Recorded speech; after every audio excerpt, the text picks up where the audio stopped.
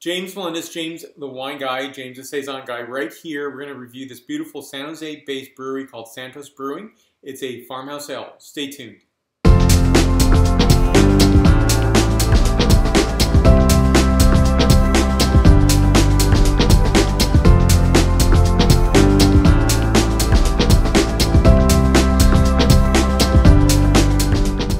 And before us is Santos Saison, traditional farmhouse ale. This is a 6.8% ABV, and when you look at a lot of saisons, they're actually much higher in uh, ABV, say in the 7 to even 8% range.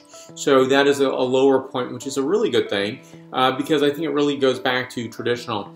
And a bit of copy on this uh, brewer. I've heard of the brewer, I've never tasted any of their beers or ales before. So first, scent characterization, then flavor profile, and the point score. So in this, I'm getting notes of Meyer lemon, heirloom apple, cardamom, clove, and brioche. Next, the flavor characterization.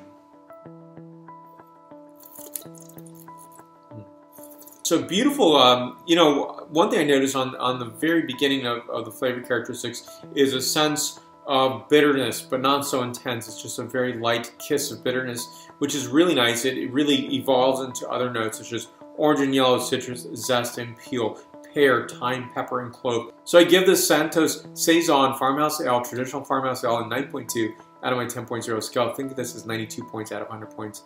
So stay tuned for more beer, ale, wine, spirits, and many more beverage arts to come. Thank you for watching today. So let's stay connected. I'm on Facebook, Twitter, Google+, Pinterest, LinkedIn, as well as Instagram and WordPress. Please leave your questions and comments down below. Give a like to this video, share this video, and subscribe to this channel if you haven't done so already. Thank you again for watching. Stay tuned for more. Salut.